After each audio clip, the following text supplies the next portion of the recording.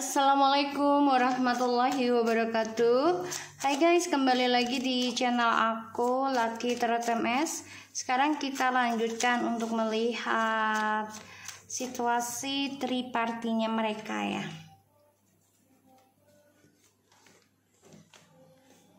Oke Jangan percaya tarot 100% karena tarot bukan Tuhan. Bijak dalam menonton tarot aku Gunakan energi yang aku sebarkan di dalam tarotku ini untuk kebaikan. Insya Allah 90% menjadi nyata seperti biasanya readingan aku. Ada yang cepat, ada yang lambat, jadi jangan dipaksakan. Tetap ikhtiarnya kepada Tuhan masing-masing ya guys. Oke kita baca doa ya guys. Bismillahirrahmanirrahim.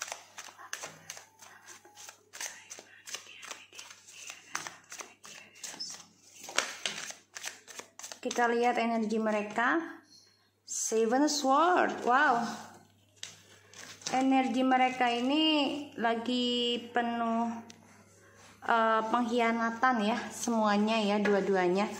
Jadi mereka sama-sama bohong, sama-sama mengkhianati, sama-sama uh, apa namanya? memanfaatkan ya energinya dan sama-sama memanipulasi satu sama lain, saling stalking, ya.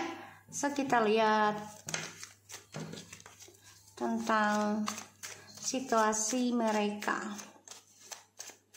Situasi tripartinya. Jadi energinya memang saling saling ini ya. Saling menjahati satu sama lain sih karena ya dua-duanya namanya hubungan triparti ya dia membohongi pasangan yang sahnya yang satunya bohongin pasangan yang sahnya juga atau membohongi orang tua. Ya mengaku mungkin pasangannya itu sudah duda atau janda atau single tapi ternyata tidak gitu ya.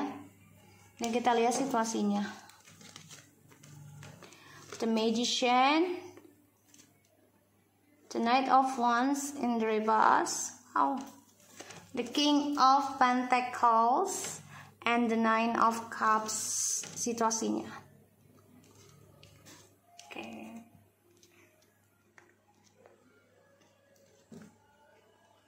Situasinya triparti di sini kita lihat ya. Saling menggunakan topeng. Ya saling berkhianat tapi sebenarnya mereka udah nggak ada hasrat ya. Jadi kayak terpaksa aja sih mereka lakukan. Karena udah ibaratnya udah nyelam ya sekalian aja gitu loh. Udah kejebur ya udah sekalian nyelam aja gitu. Dan kalau aku lihat ya mereka berharap hubungan ini akan menjadi komitmen. Atau sudah menjadi komitmen satu sama lain ya berharapnya. Dan kebohongannya mereka ini ya sebenarnya udah nggak mereka nikmatin sih kalau aku lihat ya. Karena saling saling memanfaatkan saling menipu. Ya menipu hati sendiri pastinya. Ya menipu perasaannya sendiri. Dan aku lihat entah dia atau pasanganmu mantanmu siapa pun itu uh, sebenarnya udah bosan ya. Sebagian sudah ada yang bosan. Dan ya mereka terpaksa lakukan itu ya. Membohongi perasaan masing-masing. Dan saling memakai topeng.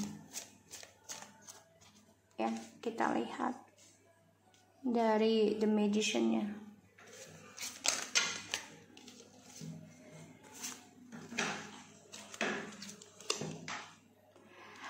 Of Swords, the Star, the Chariot, and the Four of Swords.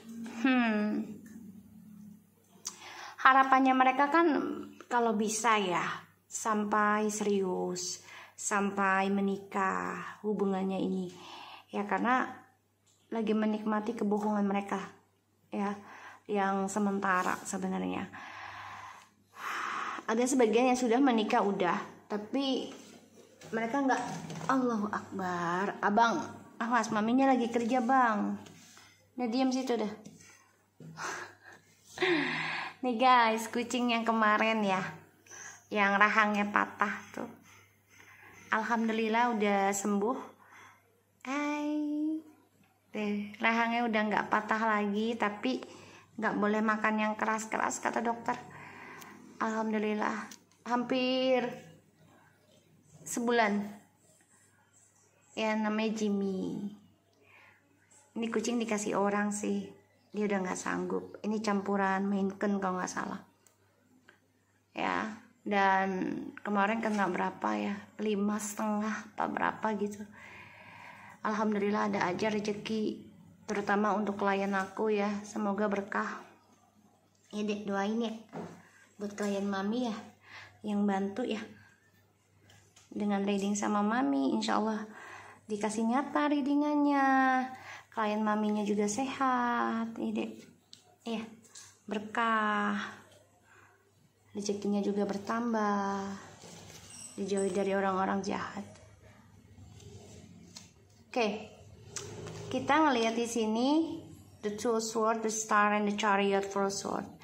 Jadi situasinya tripartinya ini sebenarnya sudah keblok ya. Jadi mau tidak mau mereka harus uh, ya kalau dibilang break up, sebagian sudah ada yang break up tripartinya sementara. Aku lihat. Kenapa? Karena mereka harus hadapi kenyataan ya tentang pengkhianatan satu sama lainnya ada yang lelah juga ya udah capek gitu dengan topeng masing-masing gitu. Dan udah ada sebagian yang udah nggak nafsu lagi dengan selingkuhannya aku lihat ya. Aku lihat kayak gitu. Dan ya mereka sadari sih sebenarnya kesuksesan mereka masing-masing ini keblok. Ada dua pilihan dan nggak bisa memilih sebenarnya untuk bisa sukseskan lagi uh, perjalanan hidup mereka, terutama untuk menuju kepelaminan ya atau meneruskan pernikahan mereka ini akan lelah sendiri. Aku lihat. Dan ya mereka nggak ada pilihan kalau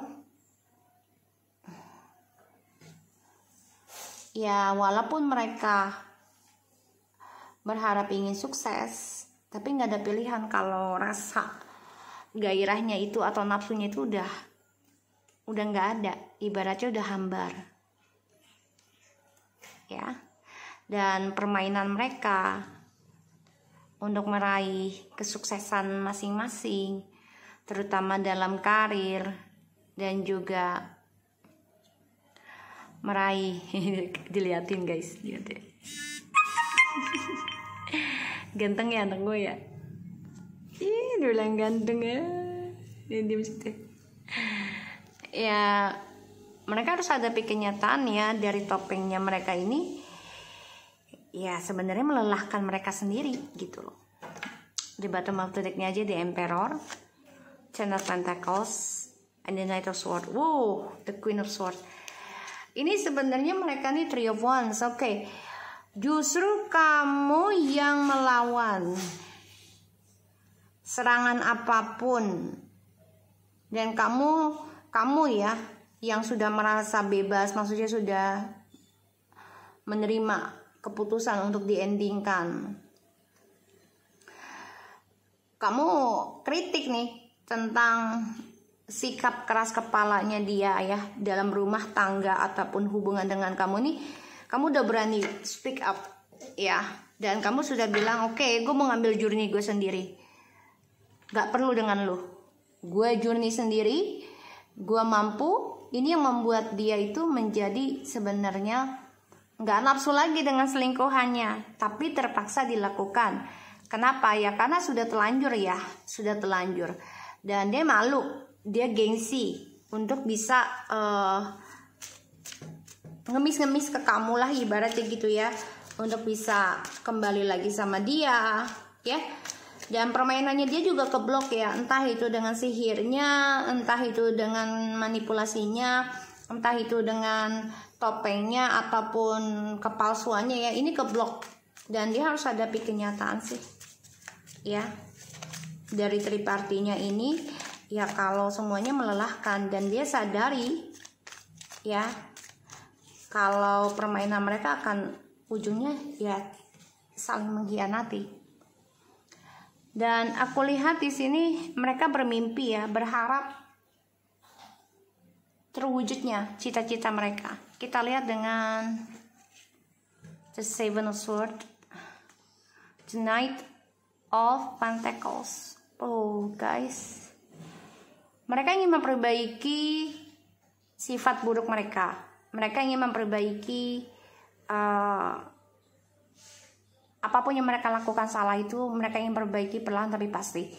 Tapi sejalannya waktu juga mereka akan merasakan dari apa yang mereka kerjakan. Ya, mereka akan merasakan dari apa yang mereka kerjakan. Wow. Ini bisa aja dengan kematian ya, Allahu alam ya. Tapi perbuatan buruk mereka ini perlahan-lahan akan mati. Ibaratnya perselingkuhannya mereka nih akan ending, bisa ya. Atau sebagian ya akan menghadapi tentang kematian ya dari perbuatan mereka. Karena ada campur tangan dari ilmu hitam ya yang mereka gunakan. Entah dia atau mantan kamu. Ya aku melihatnya entah dia atau mantan kamu yang coba untuk ngeblok kehidupan kamu. Tuh ya six of cups. Ya. Ini instingku ya. Kartu sudah sudah aku shuffle. Tapi ini ngeblok ya. Ibaratnya dia nggak bisa karena kamu sudah move on. Ataupun kamu sudah nggak terlalu peduli tapi tetap berjaga-jaga. Aku lihat ya tetap berjaga-jaga. Dan dia tidak menerima kenyataan kalau kamu sudah bisa move on ya. Kamu sudah bisa meninggalkan. Ini membuat dia nggak nerima tonight of ones ia nggak nerima. Nggak nerima dia. Dan dia udah nggak nafsu ya tentang kesuksesannya dia nih tapi akan dia akan coba untuk mengambil jalan pintas lagi ya hati-hati jadi dia coba untuk mengontrol dan mengendalikan dia bisa aja menggunakan jabatan dia untuk mengendalikan kamu atau orang ketiganya. Ya, di sini. Dan dia masih mantau kamu. Perlahan-lahan memang dia ingin banget nih mempertanggungjawabkan lagi komitmen ini, ingin ada komunikasi lagi sama kamu gitu ya. Tapi percuma. Five of Cups. Hanya kesedihan, kekacauan yang terjadi ya dalam komunikasinya sama kamu juga. Karena yang mengenang kisah masa lalu yang belum diselesaikan dengan baik sih. Dan harapannya ini menjadi lelah sendiri buat dia dan orang ketiganya. Ya.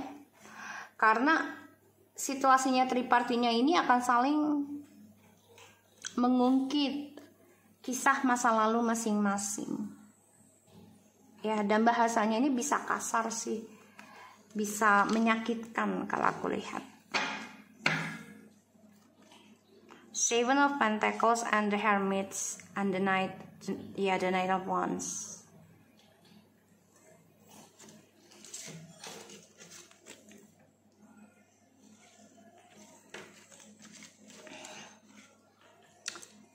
Ini the Page of Wands, sorry, the Page of Wands. So,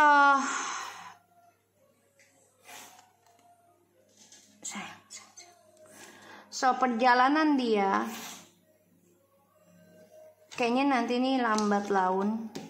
Awas awas awas awas. Ya lambat laun nih mereka akan saling mengambil jalan masing-masing guys. Tapi hati-hati ya dia dan karmik ini bisa belajar tentang spiritual juga ya. Allahu Akbar. Aku baru ngomong karmik. The high priest three of cups. Aku nggak ngeliat loh tadi. Nggak ngeliat seriusan.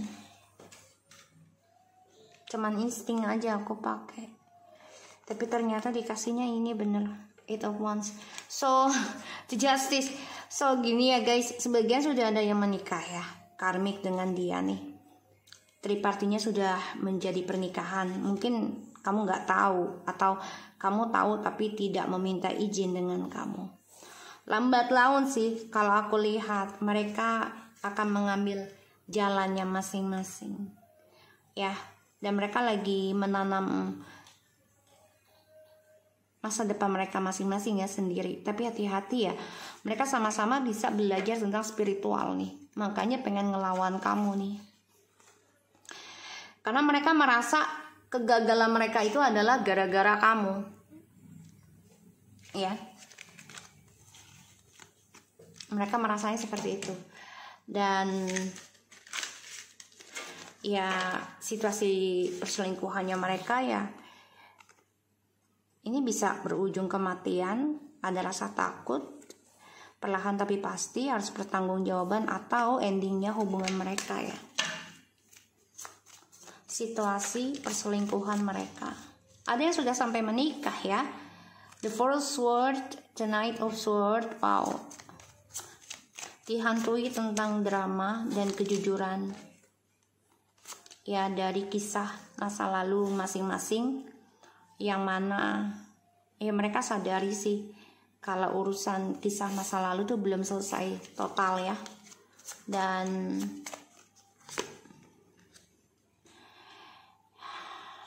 mereka juga capek ngikutin nafsu sebenarnya. Udah nggak ada gairah untuk meraih impian. Ya terutama dalam komitmen karena pekerjaan mereka pun berantakan kacau ya. Dan mereka lelah ya untuk meraih impian. Karena mereka juga merasa kesuksesannya itu adanya di masa lalu ketika bersama kamu star kesuksesan hmm instingku oke okay. so mereka lelah mengikuti nafsu ya, terutama mengejar ketenaran, kesuksesan. Berharap ya mereka bisa mendapat kesempatan lagi nih. Tapi harapannya mereka ini bisa dengan kematian. Ya, atau kehampaan dalam mencapai sesuatu chariot ya mereka harus bisa sembuhkan ya tentang hubungan mereka ini ya harus dengan cara mengendingkan dulu ya kalau mereka ingin sukses lagi. Kalaupun mereka ingin melawan tentang kehampaan ataupun kematian ya karena dari cara mereka berselingkuh ya pastinya kan dikejar ketakutan ya. Orang ketakutan pasti ujungnya stres depresi ya dan bisa melakukan sesuatu hal ya dengan ilmu hitam atau ke uh, menyewa seseorang ya bisa aja gitu lakukan. Di luar nalar kita pun bisa. Karena cinta ya serakah gitu dan merasa terkalahkan tidak mau tersaingi. Perselingkuhan kan?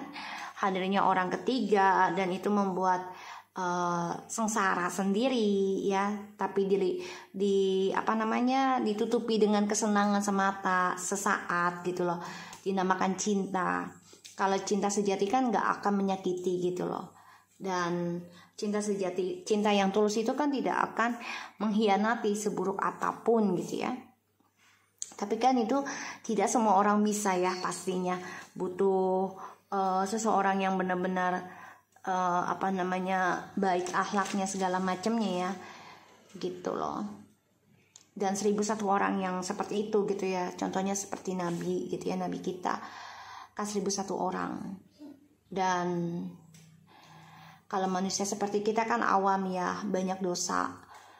Tapi yang nggak ada salahnya kita perbaiki gitu loh so kalau aku lihat di sini situasi perselingkuhannya mereka ya banyak kesedihan sih dan mengenang masa lalu.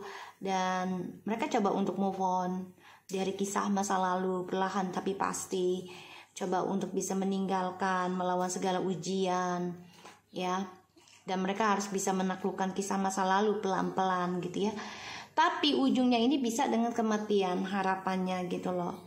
Jadi gini ketika mereka sudah merasa uh, bahagia terus kamu sudah memaafkan gitu ya di sinilah karma akan bermunculan entah sakit entah kebangkrutan ya entah pengkhianatan lagi dan berujung bisa dengan kematian ya karena kamu sudah mulai move on, kamu sudah mulai ikhlas meninggalkan atau menerima gitu ya. Aku lihatnya kayak gitu. Dan ujungnya mereka akan coba untuk hidup sendiri-sendiri, tapi hati-hati. Mereka coba untuk mencari jiwa mereka kembali. Ya karena perbaikan diri. Perjalanan twin flames dan soulmate dan juga karmik itu hampir sama, ya. Hampir sama kan. Tapi bedanya adalah